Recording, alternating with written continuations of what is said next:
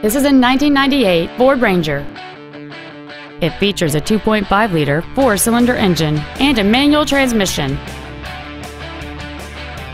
All of the following features are included. A sliding rear window, a bed liner, an anti-lock braking system, dual airbags, and this vehicle has fewer than 54,000 miles on the odometer.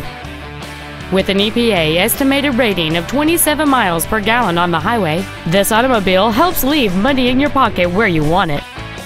Not to mention that this Ford qualifies for the Carfax buyback guarantee.